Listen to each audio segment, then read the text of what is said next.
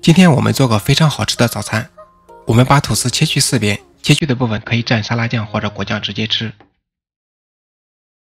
再切几片香肠，片切的薄一些。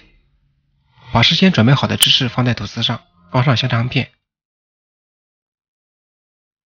再放上一层芝士，最后盖上一层吐司。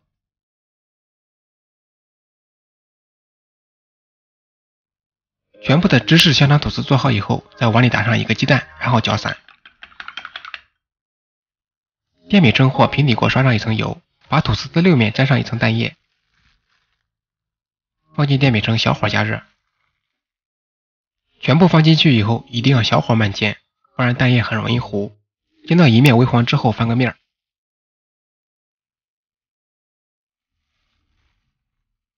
另一面也微黄之后继续翻面儿。直到六面全部煎到微黄，